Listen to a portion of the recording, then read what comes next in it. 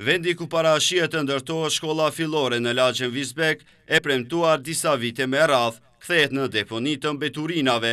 Ekipi i televizionit Shenja vizitoi nga afër vendin se ku banorët e kësaj lagje kërkojnë të ndërtohet shkolla, ku aty hasën vetëm në mbeturina. Këtu është pra vendi ku banorët e lagjes Vizbeg kërkojnë që të ndërtohet shkolla. Në mungesë të kësaj, nxënësit e kësaj lagje ju duhet të udhëtojnë katër deri në pesë kilometra për të shkuar në shkollë.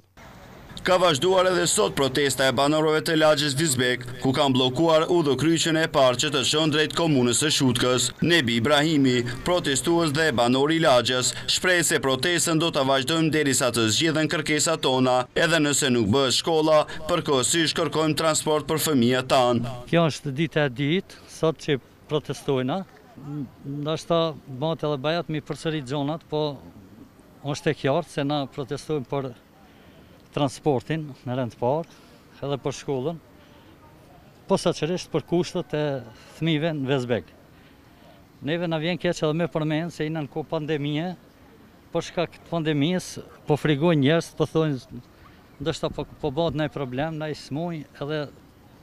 me vështërsi edhe që po dalin me protestu.